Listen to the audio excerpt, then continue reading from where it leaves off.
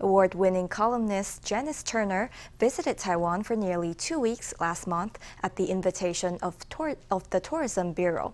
After returning home, she shared her Taiwan experience in UK newspaper The Times. She wrote that despite Xi Jinping's warm ongoing Taiwan did not feel dangerous and was probably the most fascinating place for travelers to be. Let's find out why. With its quaint old town and countless small eateries, Tainan is unmissable for visitors, writes UK award-winning columnist Janice Turner. During her two-week trip around Taiwan, she enjoyed a bowl of tofu pudding here at Anping Street.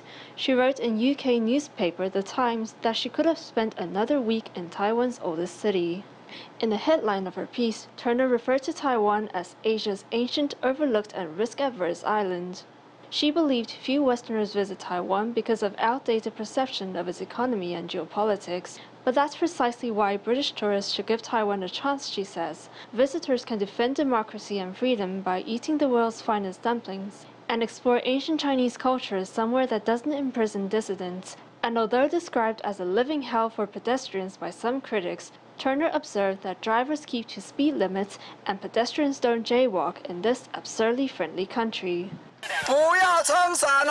In this risk-averse society, Turner spotted warning signs that amused her, such as those banning umbrellas on bridges and slippers on escalators. She noted that the Taiwanese are crazy about claw machines, paying little mind to whether they win a prize, during her 12-day stay, Turner visited attractions including Taroko National Park, the National Palace Museum, and the Sun Moon Lake. She also made a point of visiting the National Human Rights Museum in New Taipei. Turner wrote that despite China's warmongering, Taiwan didn't feel dangerous.